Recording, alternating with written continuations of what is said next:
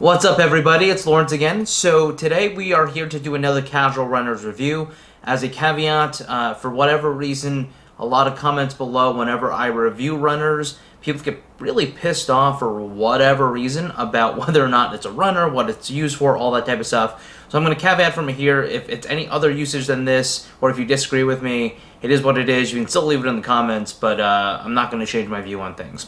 So with that said, um, I'm a super casual runner. I use it to supplement other types of workouts. If you're looking for something a little more in-depth about how great these shoes are for long distance running, marathon running, all that type of stuff, this is not the right review. So this review is mainly for people who run a little bit, uh, want to supplement the workout, or um, want a really, really comfortable shoe and want to see if this type of runner is good for them where they can have the ability to run but not necessarily need it and can just use it for walking most of the time. And without further ado, here is the Zoom Fly Flyknit, which is the follow-up to the Zoom Fly.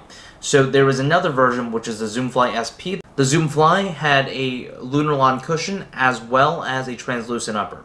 So let's start with the upper. The upper is obviously made out of Flyknit and it's done in this black color. So the difference with this type of Flyknit is that it's kind of the, the harsher kind. It's very similar to what I have on the Vapor Street uh, in that it's it's kind of scratchy when you scratch onto it. Whereas with the Epic Reacts, you have a softer Flyknit. I don't think, honestly, there's a good or bad, but if you're feeling the outside, this is much harsher uh, as, you, as you kind of go through it and much coarser than the Epic React type. Uh, across the very middle of it, you're going to see the very, very large swoosh, which Nike has been putting on basically all of their running shoes. Uh, the main difference here is that instead of extending into the actual midsole, it stops right at the Flyknit.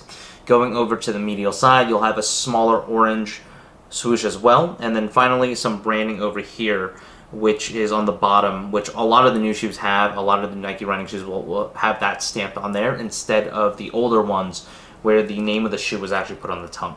Going to the top of the shoe, you're going to see ventilation patterns right down the middle, and then on top of that, you'll see you're going to see the lacing. The lacing is a little bit offset, but very, very minimally. Uh, what is interesting about this specific pair is I feel like the, the lacing is actually pretty far apart compared to a lot of the other running shoes. Uh, maybe it's for stability purposes because there is no fly wire. Most of the other shoes do have fly wire, and this definitely does not. Um, in addition to that, the tongue itself is super stretchy, and there is perforated holes all throughout, and so it's much more perforated than the rest of the shoe. Looking into the laces, which is probably my favorite part of the shoe, uh, I really really like the the kind of racy knit uh, with the with the pink and the black, and so I really really like that design cue. And then finally on the back over here, you're going to see a pull tab done in a black as well as pink, very similarly to the laces. On the inside, you're going to see an insole done in the same color as the rest of the upper. Moving over to the midsole, you're going to have a black piece over here that gradients into a gray. The rest of it is gray. And then finally, you definitely have this pink part area, which is denoting the carbon fiber plate that's on the shoe. And we'll get into that a little bit later. Uh, the rest of the shoe is done in React.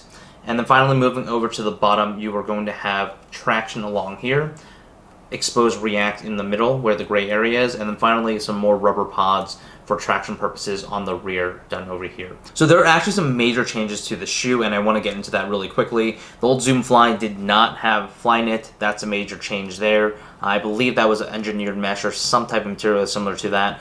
Uh, the entire cushioning system and the tooling on the sole is completely different. Uh, it used to be made out of Lunarlon as well as a nylon plate. Now it is an upgraded version with React, which is the new Nike running technology, and a carbon fiber plate.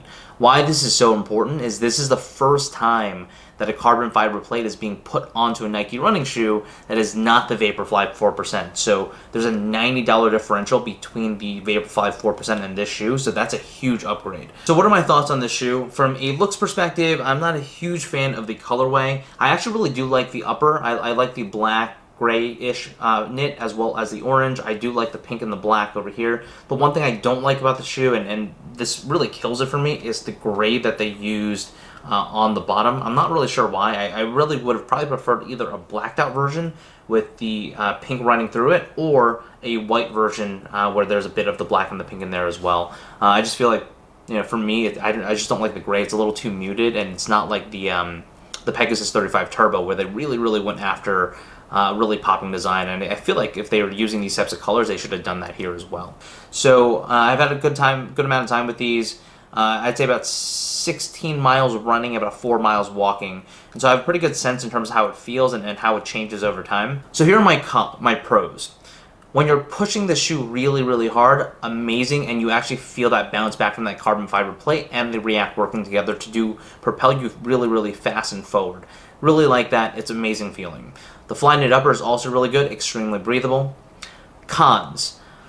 While it's great for running, I would say that this is very similar to the Vaporfly 4%. Um, when you're standing still, since there is a carbon fiber plate right here, it's odd because if you see the slope of this, it comes right back up you kind of feel like you're on the edge of something as you're standing there without moving. Um, that edgy feeling really is not that big of a deal, but it does translate into what I don't like about it, which is this shoe is actually not great for walking. Um, so unlike the, the Epic Reacts and, and many of the other React type, type shoes for running, I wouldn't recommend this for walking at all because of the carbon fiber plate. It just kind of makes your, your, your feet feel a little uneasy if you don't push it hard. And I think it's really interesting from that perspective in that they've created technology that is really, really, really engineered for marathoning and running hard.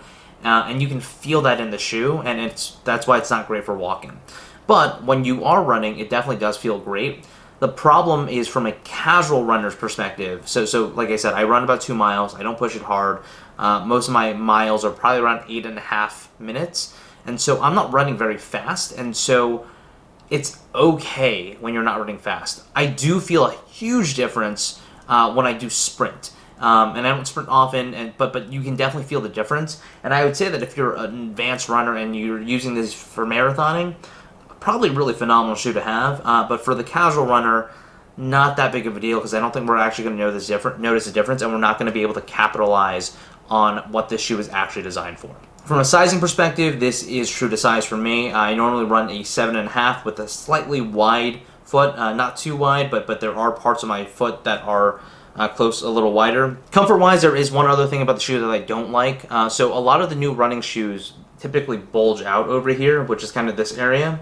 So if you have a wider foot, which I do, um, the new Nike shoes have a really, really nice wide widening over here and it kind of narrows back in afterwards. This doesn't have that and it's a lot more straight and and that itself is not something i love. I, I don't uh, my, my foot spills over a lot more on this shoe than other shoes. So if you're wide footer definite consideration there uh, from a sizing perspective, I would go true to size if you have a normal to slightly wide foot, and definitely half size up if you do have a wide foot.